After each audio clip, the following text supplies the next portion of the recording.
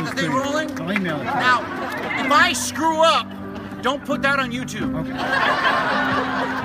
But if I play everything in tune, then just go ahead. All right, you ready? Here we go.